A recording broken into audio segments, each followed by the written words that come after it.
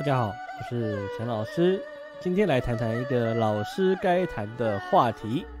开始之前，请按下订阅、小铃铛跟赞，以确保老师以后更新的时候，你可以获得通知，也可以帮助老师快速达成十万订阅者的目标。来，今天跟大家谈谈什么呢？我们接下来谈谈铁板神术。铁板神术就是号称推算出来的东西，会让你每一样都应验。就像把每一个人的命刻在铁板上面一样，绝对不会变。这个铁板神兽到底是什么东西？相传是在北宋时期，有一位叫做邵康节先生所撰写的。这个邵康节先生是什么样的人呢？这个邵康节字尧夫，人又称百元先生。这位邵先生非常不容易，他可以说是研究易经的天才。如果纵观历史，他上下五百年，可能都没有人比他更了解易经的研究。与其说他是易经研究家，他更像是一个数学家。而且这位邵先生，他对命理的武术，他也造诣的十分的深厚。有一天啊，这个邵先生他跟门下的弟子学生在一做研究的时候，他突然想到一件事情，是什么呢？就觉得哦，有没有可这个可能呢？把扎把这个八字命学，按照易经的推算的模式，来建立一个什么？建立一个资料库，然后把它分门别类，以建立索引跟函数的方式，建立一个最周全的人生资料库。也就是说，把所有八字或是任何命理可以排列组合的可能，都把它列下来。这样子以后，如果有任何人要去做推命的时候，无论是谁。上次王侯，下次贩夫走卒，都可以从这个大数据里面来找出答案来。原则上，按照逻辑上，如果这个资料库是成立的，那这个理想应该是可以达到的。所以，我们这位邵教授带领了我们的实验室的同学，开始建立了这个庞大的资料库，而且他要建立起来破解人命最完整的密码书以及资料库。所以是说。他必须把这个资料库分成上、中、下三步，这样子才能达成他的目标。怎么说呢？上册就是说明书，来解释这个资料库的函数哦，它是怎么样的运作，要怎么样推命的一个详尽的说明书。中册它是什么？一本钥匙，这本钥匙就是一个密码书啊，实际上是密码书。这密码书是来了解什么呢？怎么样可以快速的透过人命？去找用这个钥匙推断出索引来，好去找到这个条目。那第下一步下册书就是什么呢？就是所有的他所推断出来的所有的条目，好条文啊之类等等的。那这样子的状况之下呢，假设是说有一个人来要来推命，然后来算命，那那个师傅或是老师就拿了这个钥匙，然后带入什么？带入说，哎，这个人的八字。然后再查出条文，好，比如说他要问什么，问姻缘，那他按照这样方法去推，就推出来这个谁，这个人是什么时候结婚？比如说啊，查到某条文，想说十七岁成亲，好，那如果说你要再生小孩，那怎么找呢？找子嗣，那再用《钥匙》这本书去推子嗣，得到可能得到一个什么答案？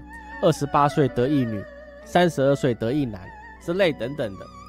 那如果问功名，那可能就是去。带入这个公司去推，就可以得到什么三十一年方及第，或是什么官至官至尚书左之类的。好，这样子去推出来，这就是所谓的铁板神术。哦，这个就是推这个他所想要做出来的一个推命术。讲到这里，各位有没有觉得这本书真的很神奇？如果有机会，各位你想不想试看看？好，现在其实现在在中港台各地。都有很多的老师号称自己也会铁板神术，但是老师必须要告诉各位这一件事情哦，这可能会一起造成一些同行的不方便，但是老师还是要必须要讲，如果他是号称是邵康杰先生的铁板神术，那这个是不可能的。为什么？邵先生的确带领着他的实验室同学，真正去研究了这本著作，然后也建也尝试了建立这样的巨大的资料库。但是很可惜的是，这个研究计划开始没有多久，少先他就放弃了。哦，这个研究计划也就怎么样，也就终止了。所以是说，这本这本书，好，这本著作，这本巨作，这个资料库从来就没有被完成过。为什么呢？因为根据他原来的基础研究下面去看，这本书如果真的做出来，它的确很完善。好，但是到后面会发现，根本就没有办法完成，因为你所有的命去，如果你真的细分下去，它根本就没有办法完全的推出来。为什么？老师跟各位讲，因为无论是什么样的状况，好，我们以八字学来看，八字学它原本是用以四柱去看，哦，也就是按照你的出生的年月日时这四个点去看。有看过老师名人命理堂的，哦，就知道了。那用这个方法去推，但是邵先生发现说，这样的精准度是不够的。为什么？你按照这种方式，你是不是每一个时辰，一个时辰换到现在就是两个小时？那这个时间块出生的人，你的命运是不是都是一样的？这样不行，这样的精准度实在太低了。所以说，一定要再细分下去，要建立资料库，哦，要对对得起自己的专业，它一定要超级精准，不然建立起来也是没什么屁用。因为如果你真是很模糊，也没什么用。所以说，他就往后推，就把这样推算方法推到什么？每一刻，从每一每一个时辰，好，就现在推到每一刻。一刻就钟就是十五分钟，所以他就开始说：“哎，那我们以十五分钟做一个做一个基准，这样行不行？哦，这样函数算下去会不会更好？的确是更好，但是这样还不够准，怎么样？那只好往下继续推了，推什么？推到分钟，好，推到分钟上去了。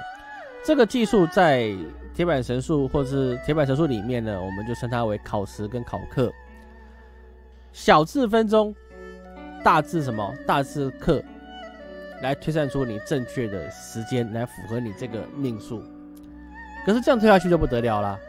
为什么？因为这个资料库会变成异常、异常、非常大的庞大的变化，完完全全的超出当时邵先生他当时的预期，或是他可能假设出来的状况。哦，你考不要说考到分钟了，按照这些推命的方法下去，你推到秒数都没有什么问题。所以最后，邵先生跟他的实验室的好伙伴们就开始终止这个计划。所以说，这个计划实际上它进展的时间非常短，所以可以说这里面的条文，好尝试编出来的条文根本就寥寥可数，好，并没有，并没有多少条。所以当时这本书不但没有完成，而且当时也不叫做铁板神术，它只是命名为少子数，就是少子邵先生做出来的一个。数据库和少子数，但是因为它的偏差值太大了，所以终止之后，邵先生根本自己就根本就不去碰它了。为什么？你这样碰上去根本就没有用，这个就是失败的实验，实验失败，如此而已啊，也没什么了不起，就实验失败了。那既然这个研究计划早就失败了，那现在的铁板神书到底是哪里来的？其实是在隔了一千年之后，在清朝。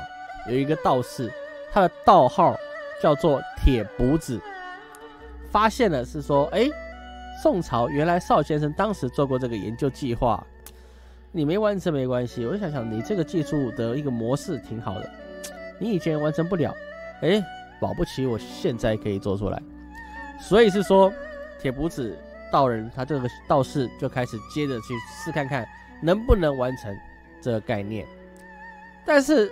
每一个人做同样的事情，就会发现这个基本上是很难达成的，这个是没办法，没办法那么精准。后来铁卜子知道怎么样呢？他又不是一个研究团队，他就是个道士，他也没有研究团队，不像邵先生，他有研究室可爱的小伙伴，没有。所以说他怎么样，他就只能改用模糊比对了。哦，极尽所能，用最模糊的方法，比如说至少以一个时辰，或者是最最后一个时辰这样去看，哦，最多也只能编出了。一万三千多条的条文，所以说这基本上就是一个概念，正确率既然是模糊比对，所以是说它正确率也不高哦。虽然正确率不高，而且虽然也干干脆讲这么讲好了，它的正确率是很低的。但是铁卜子他对于本身对于推命术，好，他的一个技术本来就很好了，他本来就不需要靠这个建立这个资料库来强化他的一个专业，他本身专业就很强了。好，但是只是说变成什么样？他在研究的过程中，这本书就变成他的一个小笔记，就是他有时候记上去，在推的时候，你当然就要拆分嘛，他就把它做成小笔记。有时候我们在算命的时候，就忘了一些公式，他在翻翻自己的小笔记啊，想起来，那这样推才对。所以是说，就变成一个他的小抄。那有些人就觉得说，哎，铁道人铁师傅，你这个这么厉害，你每次查这本书就可以算出答案来。那你这本书到底是什么东西啊？怎么这么厉害？各位知道，中华民族有个缺点，就是喜欢怎么样攀比哦，攀比古人就显得自己比较厉害哦。为什么呢？比如说啊，你的你老师是谁？老师哦，老师我老师是孔子，人家就觉得啊，你一定超聪明、超有智慧的。你老师孔子，哎，我操，那你一定是一个学富五车的人，你一定是一个有大智慧的人。没有那么厉害啦，孔子下面也有笨学生哦，所以说大家喜欢攀比，攀比之后他就说这本书是宋朝的邵康节先生所著作下来的哦神术，透过这个神术，我可以推出来每一个人的命运。就说哇，少康杰，妈呀，你太屌了，对不对？真是太屌了，那你一定超强。后来怎么样？八卦传千里，哦，就八卦传千里，就把他推出去。那因为他写用的这个人叫做铁卜子，后来人就说哦，这个这个技术叫做什么铁板神术。说到这里，说到这里啊，各位可以知道，所谓铁板神术呢，其实就是只是古时候的一个伟大计划，邵康节先生的一个伟大计划，流传到后世变成一个美丽的误会。这个铁板神术呢，就算用现在的技术。也没办法完成，为什么呢？因为邵康节先生他在他另外一本哦已经被收入《四库全书》里面的巨作，叫做《黄极经世》，里面就说过了，这世间可能的变化就有五亿五千九百八十七万两千种。这个数字难怪邵先生当时到后来很快就会放弃了这个研究计划，因为你没办法编出来嘛。为什么？就算你用现在的技术哦，可以做出这么庞大的资料库，你这根本都是已经是百度跟 Google 等级的，或是雅虎等级的超级大资料库了。而且你有超强的运算能力了，你也编不出来这么多的条目哦，里面的细节啊，你要去讲出来这个条目是干嘛的，也做不出来。更何况邵先生对于这种变化的极速，也就是它的极限，都还保持着很保留的态度，因为他还认为这样子。不是一个极限，他应该还有在更成长的空间。所以，我们回到主题，各位，世界上有没有铁板神书？其实这世间本无铁板神书，只是一个数学家的一个伟大共享。那就奇怪啦。那既然如此，算命到底是什么？你算命有用吗？哦，今天在这里，老师跟各位讲一下。其实，老师身为一个专业的武术老师，实在的告诉各位，算命它其实是一种诊断。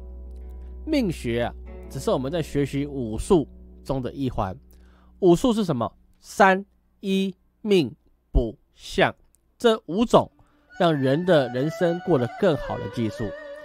医学也在我们的武术之中。哦，所以是说医学，我们假设我们医生在看诊的时候，他应做什么？望、闻、问、切，根据病人现在的状况来做问诊。然后把脉，然后闻一下他的体味，什么之类等等的方式来诊断开药。所以说，一种病症在不同人身上都会有不同的开药的剂量的用法。命也是一样哦，问命也是一样。